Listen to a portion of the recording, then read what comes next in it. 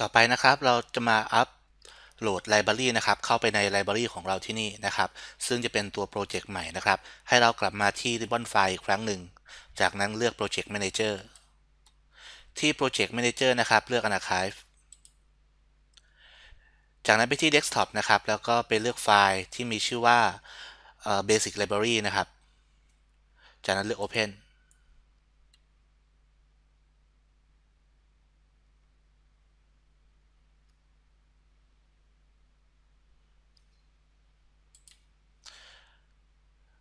ต่อไปนะครับ ให้กดปุ่มโอเคนะครับ จากนั้นกดปุ่ม yes ถ้าหากว่ามีใครเคยโหลดไว้แล้วนะครับ ให้กดปุ่ม yes เพื่ออัปโหลดทับลงไป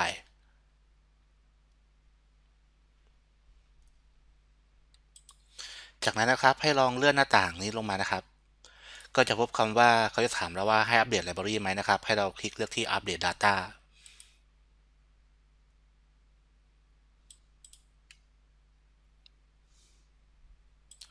เมื่ออัปเดต Data เสร็จแล้วนะครับ ให้เรามาคลิกที่ next นะครับ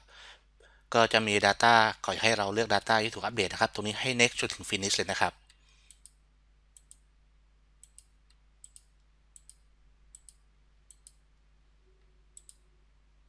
จากนั้นกด finish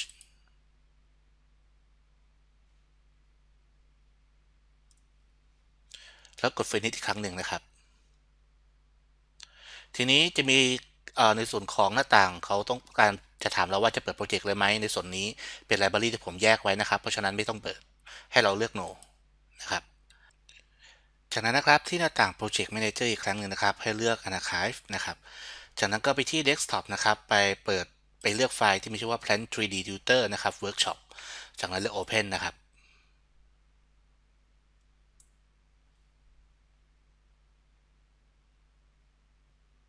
ทีนี้นะครับที่ชื่อนะครับ ให้เปลี่ยนชื่อตรงนี้โปรเจกต์ชื่อโปรเจกต์ครับเป็น My Workshop จากนั้นนะครับ ให้กดปุ่มโอเค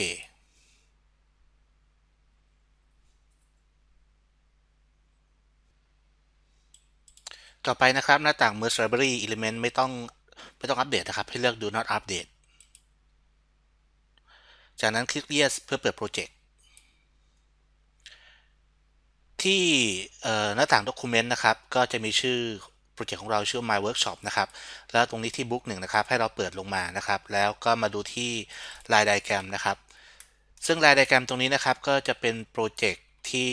จะเป็นการ start motor ลักษณะของรีโมทซึ่งจะมีตัว back box ตัวหนึ่งนะครับ ซึ่งจะเป็นรีโมทอยู่ซึ่งจะเป็นยี่ห้อ XTL นะครับ แล้วก็จะมีตัว connector นะครับ ต่อด้วยสายไฟ R3 RF 316 นะครับ แล้วก็มาต่อที่ตัว antenna นะครับ ซึ่งจะเป็นเคเบิลนะครับ และในส่วนของ part อื่นๆนะครับ ซึ่งเราจะ routing ใน 3D ก็คือจะ route จะ routing กับอุปกรณ์ต่างๆ ที่อยู่ใน block block diagram นี้นะครับ ซึ่งในส่วนของ block diagram เพียงอย่างเดียวนั้นไม่สามารถที่จะ routing ได้นะครับ เพราะฉะนั้นมาดูที่ไฟล์ power and control นะครับ หรือไฟล์ scheme นั่นเองนะครับ ซึ่ง โปรแกรมที่จะสามารถ routing ได้นั้น คือต้องทำ schematic คือมีการต่อนะครับ detailing ระหว่างสายไฟ แล้วก็เทอมตำแหน่ง terminal ต่างๆ แล้วก็ระบุคู่สายแบบนี้ เรียบร้อยแล้วเหมือนกับที่เราทำในขั้นตอนแรกนะครับ เพียงแต่คนละโปรเจกต์เท่านั้นนะครับ เพราะฉะนั้นนะครับผมจะพาทุกท่านไปเรียนในส่วนของ 3D เลยนะครับโอเควิธีการนะครับให้เราเปิดนะครับโปรแกรม SolidWorks 2017 ขึ้นมานะครับ